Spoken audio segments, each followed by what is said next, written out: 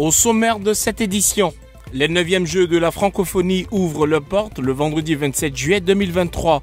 La Côte d'Ivoire prend part à ces Jeux de Kinshasa. Les détails dans cette édition. Les candidats au BTS se préparent avant la tenue de l'examen. Notre journaliste Pierre Thiebi a rencontré quelques étudiants. Le calme est revenu à Mossou après une nuit chaude entre policiers et jeunes manifestants. Le constat de Diane Drissa dans ces 7 minutes. La ville de Kinshasa vibre au rythme de la 9e édition des Jeux de la francophonie du 28 juillet au 6 août 2023. Pour ces Jeux de Kinshasa, ce sont quatre disciplines sportives qui ont été retenues pour défendre les couleurs de la Côte d'Ivoire. Il s'agit de l'athlétisme, du judo, de la lutte et les sports paralympiques. Au total, 25 athlètes ivoiriens accompagnés de 7 encadreurs tenteront de hisser haut le drapeau national. Au niveau de la culture, la Côte d'Ivoire prend part à 7 concours culturels, à savoir la chanson, les contes, le hip-hop, la jonglerie, la peinture, la littérature et la sculpture, avec 23 artistes et 5 encadreurs. Depuis euh, le début de l'année, il y a eu euh, un grand rassemblement au niveau de Korogo, où on a commencé à former les acteurs culturels.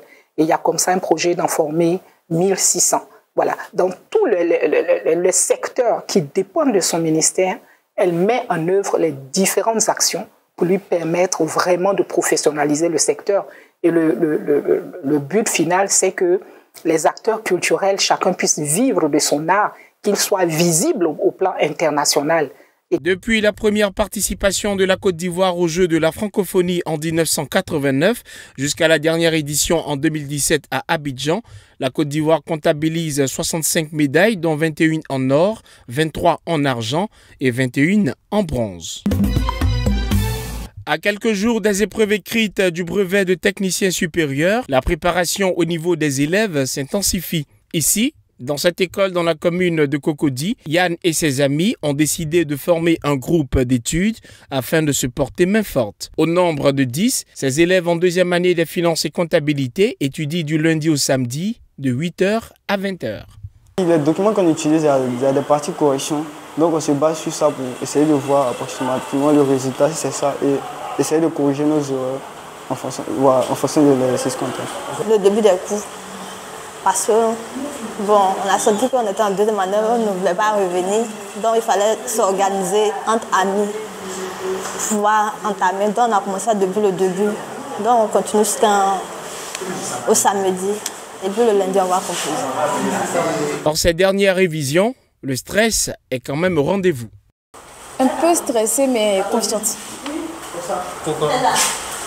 Le stress est là. on ne sait pas euh, on, serait face à quel, quel, type d'exercice? On a confronté plusieurs réalités dans les exercices, donc du coup, il y a le stress qui est là. Il faut noter que les épreuves écrites du brevet de technicien supérieur 2023 en Côte d'Ivoire se tiendront du 31 juillet au 3 août 2023 dans l'ensemble des centres d'examen. Les épreuves pratiques, quant à elles, se dérouleront du 8 au 13 août 2023.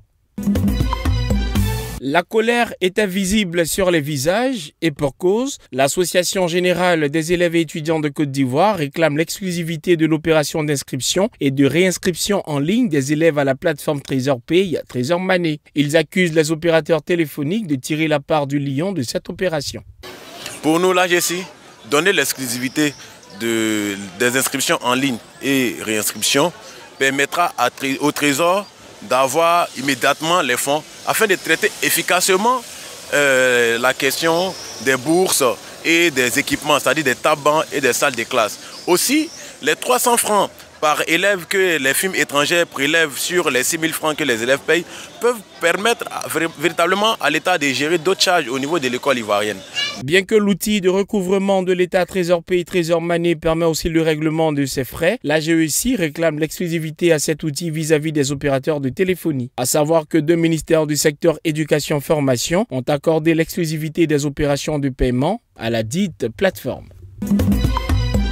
Le calme est revenu à Mossou après une nuit chaude entre policiers et jeunes manifestants qui ont émaillé le sommeil des villageois dans la nuit du mercredi 26 au jeudi 27 juillet 2023. Il est 8 heures passées de quelques minutes lorsqu'une équipe de 7 infos arrive dans le royaume le jeudi 27 juillet. C'est un village calme avec des rues presque vides que nous avons constaté.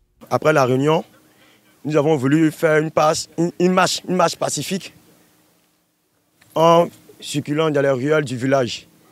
Mais jusqu'au niveau du pont, au niveau de la cour royale, nous avons, vu, nous avons eu un mur entre la population de Mossou et les forces de l'ordre.